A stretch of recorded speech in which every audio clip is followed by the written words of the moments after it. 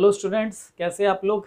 I am Rahul Bhatnagar welcome to my YouTube channel आज का हमारा ये वीडियो ट्रायल बैलेंस को कंटिन्यू करेगा भी इससे पिछले वीडियो में हमने ट्रायल बैलेंस के बेसिक कंसेप्ट को बहुत अच्छे से समझा। हमने समझा ट्रायल बैलेंस क्यों बनाई जाती है? What is the purpose of making trial balance trial balance के क्या फीचर्स हैं? एंड इवन उसकी लिमिटेशंस या शॉर्ट कमिंग्स क्या होती हैं ट्रायल बैलेंस की? इसके अलावा हमने दो इलस्ट्रेशंस के थ्रू भी ट्रायल बैलेंस को समझा था। आज के इस वीडियो में हम ट्रायल बैलेंस का एक बहुत इंपॉर्टेंट कंसेप्ट है क्लोजिंग स्टॉक उसको हम समझेंगे। क्लोजिंग स्टॉक को लेकर बहुत स्टूडेंट्स के बहुत से डाउट्स रहते हैं। आज हम उसको बहुत अच्छे से समझेंगे। आपको बहुत ध्यान से देखना होगा और समझना होगा। अक्सर ये सवाल आता है। अक्सर ये स्टूडेंट्स पूछते हैं कि क्लोजिंग स्टॉक को ट्रायल बैलेंस में क्यों नहीं शामिल किया जाता? Why such step treatment with the closing stock ऐसा सौतेला व्यवहार हम क्यों करते हैं? क्लोजिंग स्टॉक के साथ हम क्यों नहीं दिखाते क्लोजिंग स्टॉक को ट्रायल बैलेंस में? जबकि हम ओपनिंग स्टॉक भी दिखा रहे हैं, हम परचेज भी दिखा रहे हैं, हम सारी एसेट्स दिखा रहे हैं लाइबिलिटीज़ दिखा रहे हैं एक्सपेंसेस दिखा रहे हैं तो वाई नॉट क्लोजिंग स्टॉक क्यों हम उसके साथ ऐसा सौतेला व्यवहार करते हैं?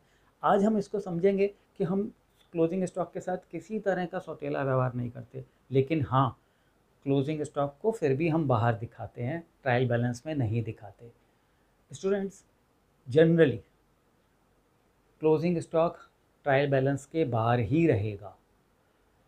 लेकिन कुछ एक्सेप्शनल केसेस होते हैं। बहुत रेयर केसेस एक्सेप्शनल केसेस जिसमें क्लोजिंग स्टॉक ट्रायल बैलेंस के अंदर अपीयर होगा। हम उन दोनों केसेस को समझेंगे। मेरा कहना है कि जनरली ट्रायल बैलेंस में क्लोजिंग स्टॉक नहीं होगा। इट मीन्स 99 परसेंट नहीं होगा। लेकिन वन परसेंट जैसे मैंने कहा एक्सेप्शनल केस होगा, उस केस में ट्रायल बैलेंस में क्लोजिंग स्टॉक अपीयर होगा। हम आज उन दोनों केसेस को अच्छे से समझेंगे। सबसे पहले हम आपको एग्जांपल के थ्रू समझाता हूँ। ओपनिंग स्टॉक आपका मालूम है। ओपनिंग स्टॉक मीन्स जो स्टॉक पिछले साल का हमारा क्लोजिंग स्टॉक था, वो करंट ईयर में हमारा ओपनिंग स्टॉक हो गया। आप लगा लीजिए opening stock opening stock for example first April 2020 को हमारा ओपनिंग स्टॉक था वन थाउज़ेंड रुपीज़ का। करंट ईयर में हमने कुछ परचेजेस किए। कितने के किए? टेन थाउज़ेंड रुपीज़ के। तो टोटल हमारे पास करंट ईयर में कितना स्टॉक हो गया? कितने वैल्यूएशन का? इलेवन थाउज़ेंड रुपीज़ का। यहाँ ओपनिंग स्टॉक से मेरा मतलब वैल्यूएशन है कॉस्ट है। और ये भी कॉस्ट है क्वांटिटी नहीं है। Cost of opening stock and cost of purchases इसमें से इलेवन थाउज़ेंड हमारे पास करंट ईयर में था तो अब इलेवन थाउज़ेंड की कॉस्ट में से हमारा goods sold sold for example nine thousand rupees अब ये नाइन थाउज़ेंड रुपीज़ की कॉस्ट मैं बोल रहा हूँ। अब मे बी आपने ये नाइन थाउज़ेंड रुपीज़ को सेल जो किया होगा, आपने फिफ्टीन थाउज़ेंड में किया होगा। अभी इस कंसेप्ट से हमारा कोई मतलब नहीं है। अभी हम सिर्फ़ से कॉस्ट को लेके चल रहे हैं। तो हमारे पास कितने कितने वैल्यूएशन का क्लोजिंग स्टॉक बचा रह गया? टू थाउज़ेंड रुपीज़ का रह गया। Closing stock it means closing stock की वैल्यू कितनी है? टू थाउज़ेंड और जो हमारा कॉस्ट ऑफ़ गुड्स सोल्ड यहाँ पे आप लिख सकते हो कॉस्ट ऑफ़ गुड्स सोल्ड क्योंकि हम सारी कॉस्ट की बात कर रहे हैं। सेल हो सकता है नाइन थाउज़ेंड का। सेल जो हमने गुड्स को किया है, वो फिफ्टीन थाउज़ेंड में किया हो। अब देखिए ओपनिंग स्टॉक को हम ट्रायल बैलेंस में लेते हैं। परचेजेस को हम ट्रायल बैलेंस में लेते हैं। क्लोजिंग स्टॉक को भी अगर हम लेंगे तो ये डुप्लीकेशन नहीं हो जाएगा। क्लोजिंग स्टॉक ऑलरेडी यहाँ आ चुका है ना परचेजेस में। क्लोजिंग स्टॉक का क्या मतलब हुआ? Closing stock means unsold stock जो स्टॉक हमारे पास थर्टी फ़र्स्ट मार्च को अनसोल्ड रह गया, वही तो क्लोजिंग स्टॉक हुआ। और ये जो अनसोल्ड स्टॉक है, कहाँ से रहा है? इलेवन थाउज़ेंड में से। जिसकी कॉस्ट जो थी इलेवन थाउज़ेंड रुपीज़ थी नाइन थाउज़ेंड की कॉस्ट का गुड्स हमने सेल कर दिया है। तो it means cost of goods sold जो है नाइन थाउज़ेंड रुपीज़ है और हम ओपनिंग स्टॉक को ले रहे हैं ट्रायल बैलेंस में परचेजेस को ले रहे हैं पूरा पूरा ले रहे हैं। तो इलेवन थाउज़ेंड में से ही तो टू थाउज़ेंड बचा है। अगर हमने क्लोजिंग स्टॉक को फिर से ले लिया ट्रायल बैलेंस में तो डुप्लीकेट एंट्री हो जाएगी। तो इसका डबल इफ़ेक्ट आ जाएगा। क्लोजिंग स्टॉक को हम ट्रायल बैलेंस के बाहर रखते हैं। इसका मतलब ये नहीं है क्लोजिंग स्टॉक की कोई वैल्यू नहीं है। बहुत वैल्यू है भैया। क्लोजिंग स्टॉक हमारा करंट एसेट्स है। करंट एसेट्स है, ये हमारा ट्रेडिंग अकाउंट में भी जाएगा और बैलेंस शीट में भी जाएगा। ट्रेडिंग अकाउंट में हम क्लोजिंग स्टॉक को हम डेबिट करेंगे। और ट्रेडिंग अकाउंट को क्रेडिट करेंगे।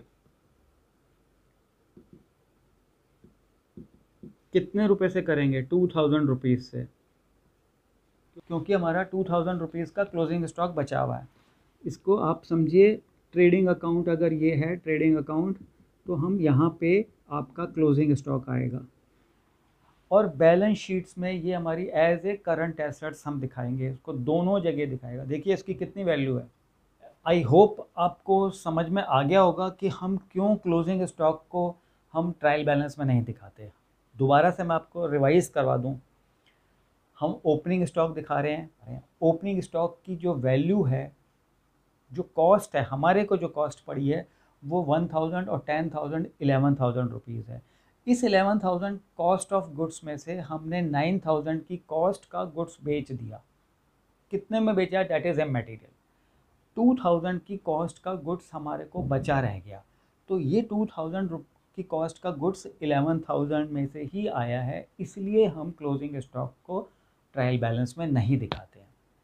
तो ये तो 99 परसेंट केसेज़ वाला जिसको मैं बोल रहा हूँ कि generally we do not show closing stock in our trial balance अब आ जाइए वन परसेंट जिस केस में क्लोजिंग स्टॉक ट्रायल बैलेंस में आता है। इन केस ट्रायल बैलेंस में आपको ये दिया हुआ है।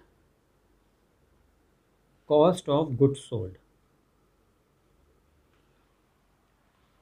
cost of goods sold दिया हुआ है ओपनिंग स्टॉक भी नहीं दिया हुआ परचेजेस भी नहीं दिया हुआ। It means nine thousand rupees का ही इम्पैक्ट ट्रायल बैलेंस में आ रहा है टू थाउज़ेंड रुपीज़ का इम्पैक्ट ट्रायल बैलेंस में नहीं आया। इस केस में हम क्लोजिंग स्टॉक को ट्रायल बैलेंस में अपीयर करेंगे। और इस केस में ना तो हम ओपनिंग स्टॉक को ट्रायल बैलेंस में दिखाएँगे और ना ही परचेजेस को हम ट्रायल बैलेंस में दिखाएँगे। किसको दिखाएँगे? Cost of good sold nine thousand rupees and cost of closing stock thousand rupees again हमने एलेवन थाउज़ेंड रुपीज़ का कंसेप्ट ले लिया है ना। पहले वाली सिचुएशन में भी हमने एलेवन थाउज़ेंड रुपीज़ का कंसेप्ट लिया था। दूसरी सिचुएशन जो मैं कह रहा हूँ कि जिसमें वन परसेंट केसेज होते हैं कि क्लोजिंग स्टॉक को हम दिखाते हैं ट्रायल बैलेंस में, वो ये है, अगर आपको ट्रायल बैलेंस में कॉस्ट ऑफ़ गुड्स सोल्ड दिया हुआ है it means nine thousand rupees दिए हुए हैं तो हम टू थाउज़ेंड रुपीज़ भी एज क्लोजिंग स्टॉक दिखाएँगे ओपनिंग स्टॉक और परचेजेस नहीं दिखाएँगे। तो आई होप आपको बहुत अच्छे से कंसेप्ट समझ में आ गया होगा। सेकेंड सिचुएशन को फिर से मैं रिवाइज़ करवा देता हूँ। क्लोजिंग स्टॉक कब आएगा आपके ट्रायल बैलेंस में?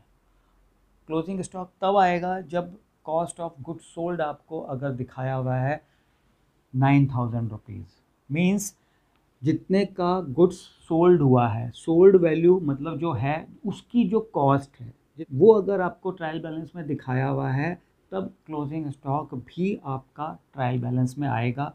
इस इस एग्ज़ाम्पल में हमारा two thousand and nine thousand ये दोनों आएँगे। तो आपने देख लिया स्टूडेंट्स कोई सौतेला व्यवहार no step treatment with the closing stock सबके साथ एक सा व्यवहार है अकाउंटिंग ट्रीटमेंट तो अभी हम दो इलस्ट्रेशंस करेंगे। आपको और अच्छे से समझ में आएगा क्लोजिंग स्टॉक का कंसेप्ट लेके आएँगे उसमें कॉस्ट ऑफ़ गुड सोल्ड का भी कंसेप्ट लेके आएँगे। अब मैं इसको रब कर रहा हूँ और आपको लेके आता हूँ एक इलस्ट्रेशंस लेके आता हूँ बोर्ड पे लेके आऊँगा। तब तक आप बने रहिए मेरे साथ। वेलकम बैक स्टूडेंट्स अब हम एक इलस्ट्रेशंस को समझते हैं। ये इलस्ट्रेशंस मैंने आपकी टी एस ग्रेवाल की बुक से ली है। इलस्ट्रेशंस नंबर नाइन है और पेज है थर्टीन पॉइंट नाइनटीन अगर आपके पास बुक है तो बहुत अच्छा है, लेकिन जिनके पास बुक नहीं है तो मैंने इलस्ट्रेशंस को इस पे बोर्ड पे लिख दिया है, जिससे कि उन लोगों को भी समझ में आ जाए जिनके पास बुक अगर नहीं है। इस इलस्ट्रेशंस में एक बुक कीपर ने अपने लेजर एक्सट्रैक्ट को ट्रायल बैलेंस में शो किया है और इस ट्रायल बैलेंस को टैली करके दिखा दिया है। इस ट्रायल बैलेंस में स्टूडेंट्स बहुत सी गलतियाँ हैं। हमने उन गलतियों को, उन मिस्टेक्स को हमने फाइंड आउट करना है और फिर एक रीड्राफ्टेड ट्रायल बैलेंस बनानी है और फिर उसका डेबिट साइड का टोटल और क्रेडिट साइड का टोटल को देखना है कि वो मैच हो रहा है कि नहीं हो रहा। तो चलिए अब हम एक एक अकाउंट हेड को देखेंगे और फिर देखेंगे कि पोस्टिंग ट्रायल बैलेंस में ठीक हुई हुई है कि नहीं हुई हुई तो सबसे पहले अकाउंट है फर्नीचर अकाउंट फर्नीचर अकाउंट हमारा एसेट्स अकाउंट है। एसेट्स अकाउंट का डेबिट बैलेंस होता है तो इसमें एंट्री ठीक हो रही है। तो इसको हम टिक कर देंगे। कोई गलती नहीं है उसके अंदर। कैपिटल कैपिटल हमारी लाइबिलिटी है ओनर्स की कैपिटल है लाइबिलिटी है तो वो क्रेडिट साइड में ही आएगा क्रेडिट बैलेंस होता है तो ये एंट्री भी हमारी ठीक है। डेटर्स डेटर्स वो हैं जिनसे हमने पैसा लेना है, ये हमारी एसेट्स हैं। तो हमारे एसेट्स तो डेबिट बैलेंस होना चाहिए डेबिट बैलेंस है तो हमारा ये एंट्री भी ठीक है। नेक्स्ट है स्टॉक फ़र्स्ट अप्रैल 2018 मीन्स ये ओपनिंग स्टॉक है हमारा, जो अप्रैल की पहली डेट का है, जिसको हमने ट्रांसफ़र किया है पिछले साल से। तो one lakh four thousand debit balance में दिखाया है, ठीक है? परचेजेज और स्टॉक को हम डेबिट बैलेंस ही होता है। क्रेडिटर्स क्रेडिटर्स हमारी नो डाउट लाइबिलिटी होती है, और लाइबिलिटी हमारी क्रेडिट साइड में आती है क्रेडिट बैलेंस आता है। तो ये एंट्रीज भी सही हैं। स्टूडेंट्स यहाँ तक की सारी एंट्रीज अब तक हमें सही मिल रही हैं, कहीं कोई मिस्टेक नहीं मिल रही है। चलिए आगे देखते हैं। Trade expenses expenses debit balance है हमारा नॉमिनल अकाउंट डेबिट बैलेंस ये भी सही है। और आगे चलिए sales revenue revenue means credit balance credit balance ठीक दिखाया हुआ है eight lakh fifty eight thousand सारी एंट्रीज ठीक हैं तो अब गलती कहाँ है? Wages again expenses thirty thousand correct दिखाया हुआ है debit balance stock thirty first March two thousand nineteen ये स्टॉक स्टूडेंट्स क्लोजिंग स्टॉक दिखा दिया है इसमें। देखिए ओपनिंग स्टॉक भी दिखाया हुआ है क्लोजिंग स्टॉक भी दिखाया हुआ है। इसका मतलब परचेजेस भी बीच में हाँ परचेजेस भी दिखाई हुई हैं। तो ये स्टॉक हम जब आपको भी ले रहे हैं और परचेजेस को भी ले रहे हैं तो क्लोजिंग स्टॉक यहाँ पे ट्रायल बैलेंस में नहीं आएगा, कहीं पर भी नहीं आएगा। ये ट्रायल बैलेंस के बाहर जाएगा।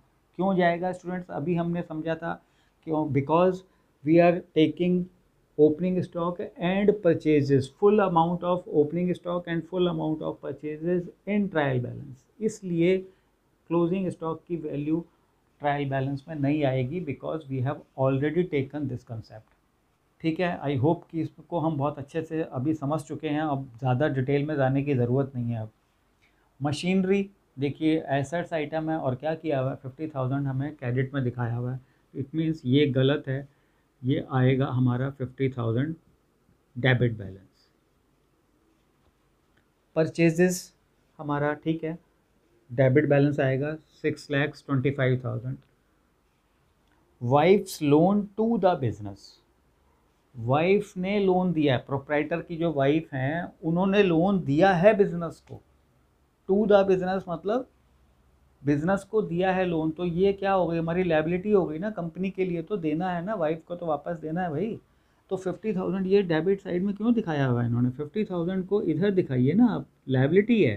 लाइबिलिटी है तो हम क्रेडिट करेंगे। ठीक है ना? नेक्स्ट चलते हैं। डिस्काउंट अलाउड हमने डिस्काउंट दिया। हमें रिसीव नहीं हुआ। रिसीव हुआ होता तो हमें इनकम होती। हमने डिस्काउंट अलाउ किया है, इसमें हमारा एक्सपेंसेस है। एक्सपेंस है तो ये हमें क्रेडिट साइड में क्या कर रहा है यहाँ पे? इसको आप डेबिट में दिखाओ। ये लीजिए फोर थाउज़ेंड हमने यहाँ पे दिखा दिया। एक ये गलती भी हमारे को ट्रेस आउट हुआ है। और आगे चलते हैं स्टूडेंट्स ड्राइंग्स ड्राइंग्स क्या होती है? क्या जो प्रोप्राइटर है ओनर है, उसने पैसा विड्रॉ किया है। कैपिटल होती है हमारी क्रेडिट बैलेंस लाइबिलिटी होती है क्रेडिट बैलेंस आता है। और अगर कैपिटल हमारी रिड्यूस हो रही है in the form of drawings तो क्या होगी? कैपिटल रिड्यूस होती है तो डेबिट होती है ना तो ये क्रेडिट में क्या कर रहा है यहाँ पे? तो इसको भी फोर्टी फाइव थाउज़ेंड को हम कहाँ दिखाएँगे? डेबिट में, ये भी गलत एंट्री है। अब देखते हैं मोटर वैन मोटर वैन तो ठीक है नो डाउट इसमें तो एसेट्स आइटम है तो ये हमारा सिक्सटी थाउज़ेंड यहाँ आ गया। अब हम देखते हैं टिक टिक आइटम्स का और जो अभी हमने न्यूली इंट्रोड्यूस किए हैं यहाँ पे रेड पेन से, इसका टोटल करेंगे दोनों साइड जो टिक आइटम है, वो तो इसका मतलब करेक्ट है ही और जो हमने अभी लगाए हैं बाद में, उनको भी हम टोटल करके देखेंगे और फिर देखते हैं कि हमारी ट्रायल बैलेंस मैच हो रही है कि नहीं हो रही है। Twenty thousand three lakh four thousand fifty और थर्टी एटी और one thirty one lakh thirty thousand six lakhs twenty five thousand then 45 or 4 49000 and 60000 11 lakh 88000 11 lakh 88000 students ज़रूरी नहीं कि जो हम, जो अभी बैलेंस पहले आ रहा है, वही आएगा। हमारा कंसेप्ट इसको मिलाने का है। अगर इस क्रेडिट साइड का भी बैलेंस अगर 11 लाख एटी एट थाउज़ेंड है इट मीन्स हमने करेक्ट पोस्टिंग करी है अब क्रेडिट साइड का भी टोटल कर लेते हैं टू लैख एटी थाउज़ेंड तो ये हो गया। Two lakh eighty thousand plus में एट फिफ्टी एट प्लस में fifty thousand correct eleven lakhs eighty eight thousand तो हमारी ट्रायल बैलेंस टैली हो रही है। इट मीन्स जो पहले पोस्टिंग हुई हुई थी वो गलत थी, काफ़ी सारी एरर्स थी इसके अंदर। अब ये करेक्ट एंट्री है। इस इस इलस्ट्रेशन में स्टूडेंट्स हमने जो मेन हमारा था समझाने का क्लोजिंग स्टॉक को बाहर निकालने का था। क्यों निकाला? आपको बहुत अच्छे से समझ में आ गया, क्योंकि हमने ओपनिंग स्टॉक को भी लिया है परचेजेस को भी लिया है। पूरे फुल अमाउंट को लिया है। फुल अमाउंट को हम लेंगे तो क्लोजिंग स्टॉक ऑलरेडी इसमें इंक्लूडेड है, इसलिए हमने इसको बाहर निकाल दिया। बाकी चीज़ें आपको सब अच्छे से आती हैं। आई होप आपको समझ में आ गया होगा। मैं चाहता हूँ स्टूडेंट्स एक इलस्ट्रेशन हम और करते हैं। एक्चुअली जब तक मुझे अपने आप को तसली नहीं होती है कि आपको सब कुछ अच्छे से आ जाएगा, तब तक मैं आपको करवाता रहूँगा। तो मैं अभी इसको रब करता हूँ और दूसरी इलस्ट्रेशन लेके आता हूँ, तब तक आप बने रहिए मेरे साथ। वेलकम बैक स्टूडेंट्स एक और इलस्ट्रेशन लेके आया हूँ। इस इलस्ट्रेशन भी आपकी टी एस ग्रेवाल की बुक से है, लेकिन ये अनसॉल्व प्रॉब्लम है। आपके page number thirteen point twenty six T S Grewal और प्रॉब्लम नंबर थर्टीन इस इलस्ट्रेशन में मुझे थोड़ा सा कुछ अलग सा लगा तो मुझे लगा आपके साथ शेयर ज़रूर करना चाहिए। ट्रायल बैलेंस दिया हुआ है। अगेन ट्रायल बैलेंस मैच हो रही है। इसमें हमने आइडेंटिफाई करनी है क्या मिस्टेक्स हैं और हमें फिर रीड्राफ्ट करना है। ट्रायल बैलेंस को।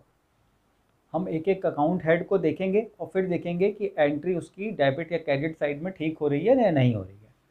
सबसे पहली है कॉस्ट ऑफ़ गुड सोल्ड। अब देखिए कॉस्ट ऑफ़ गुड सोल्ड, ये फ़र्स्ट एक ही इलस्ट्रेशन में मुझे मिला है। Cost of good sold one lakh fifty thousand. Cost of good sold से क्या मतलब है? दोबारा से हम रिवाइज करें। Opening cost of opening stock cost of opening stock opening stock में हम परचेजेज ऐड कर देते हैं। कॉस्ट ऑफ़ परचेजेस तब क्या आता है? टोटल परचेजेस आ जाती है। टोटल परचेजेस ये भी कॉस्ट आती है। कॉस्ट ऑफ़ टोटल परचेजेस ठीक है? इसमें से हमने गुड्स सेल्ड कर दिया। तो गुड्स सोल्ड कितना हुआ हमारा?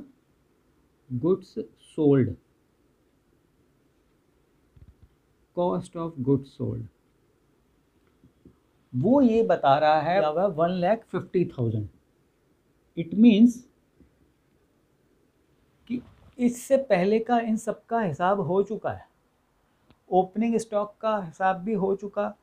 परचेजेस को भी एडजस्ट हो गया। इसमें से एक्चुअल में जो हमने गुड्स सोल्ड किया है, उसकी cost one lakh fifty thousand है। इसके अलावा क्या दिया हुआ होगा हमें? क्लोजिंग स्टॉक क्लोजिंग स्टॉक भी ज़रूर देखिए दिया होगा। यस क्लोजिंग स्टॉक भी दिया हुआ है फोर्टी थाउज़ेंड इट मीन्स अब इस केस में हमने क्या लेना है? सिर्फ़ से कॉस्ट ऑफ़ गुड सोल्ड लेना है और हमने क्लोजिंग स्टॉक लेना है। हमने ना तो ओपनिंग स्टॉक लेना, ना हमने परचेजेस लेना। अब देखिए cost of good sold debit किया हुआ है, ठीक किया हुआ है। डेबिट ही होगा, इसको लिया हमने। करेक्ट एंट्री है।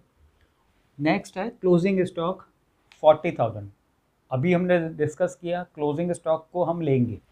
लेकिन क्लोजिंग स्टॉक क्रेडिट बैलेंस हो ही नहीं सकता भाई, ये तो हमारी करंट एसेट्स है, और एसेट्स है तो हमारा डेबिट बैलेंस है। तो हमने इसको कर दिया डेबिट साइड में। डेटर्स सिक्सटी थाउज़ेंड ये भी गलत एंट्री है। डेटर्स हमारे अगेन एसेट्स हैं करंट एसेट्स हैं।